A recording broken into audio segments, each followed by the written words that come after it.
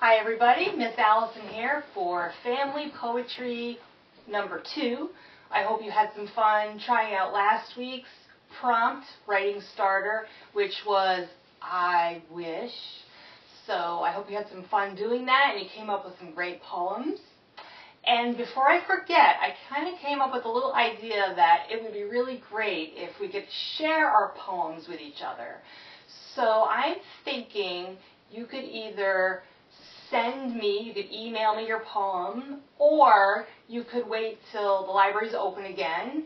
And what I was thinking of doing is taking all the poems that you're writing during this time and making a little booklet out of it. And we could maybe each get a booklet of all of our poems, and we could call it our community poetry book. So that's an idea. I would love it if you shared your poems. If you want to email me, my email is afrancis at poklib.org. You could email them to me. Or again, you can just wait until we see each other again when the library's open, and then I'll make something and we can each have one. I think it would just be so great to share what we're writing about right now. All right, so without further ado, let's get going with our activity for today. And I thought because it's spring out and it's finally starting to you know, warm up and the grass is getting green, the birds are singing, the flowers are growing, we could write a poem about spring.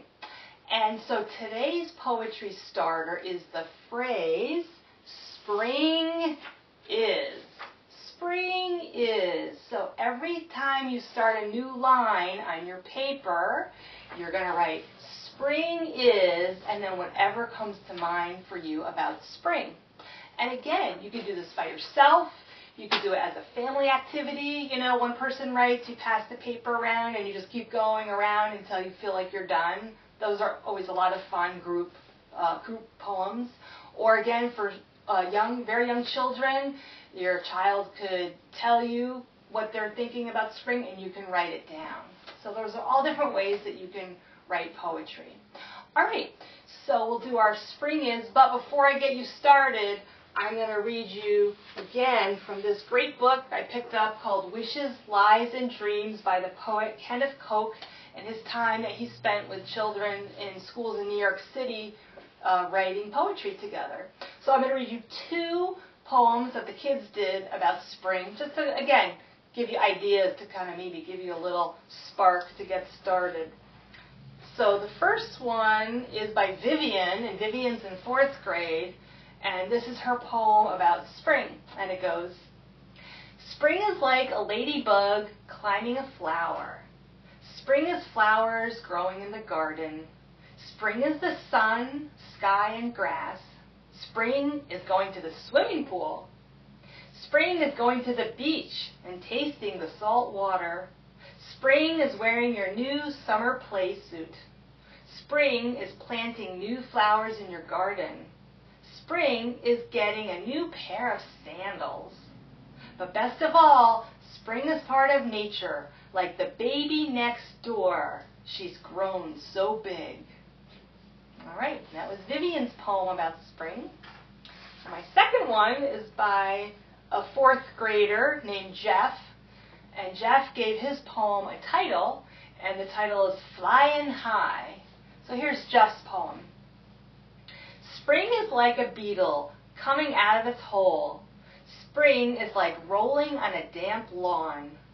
Spring is a blue sky, and blue as blue, I don't know what. Spring is sailing a boat. Spring is a flower waking up in the morning. Spring is like a plate falling out of a closet for joy. Spring is like doing a cartwheel on a sidewalk. Spring is like a bird flying over a lake.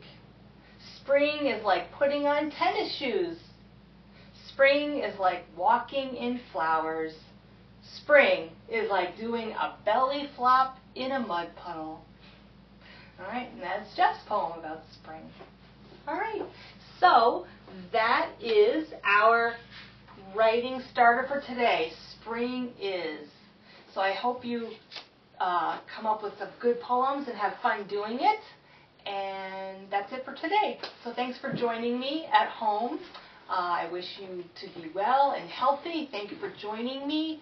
Check out all of our other great uh, videos by our librarians at the library and be well. Thank you. Bye, everybody.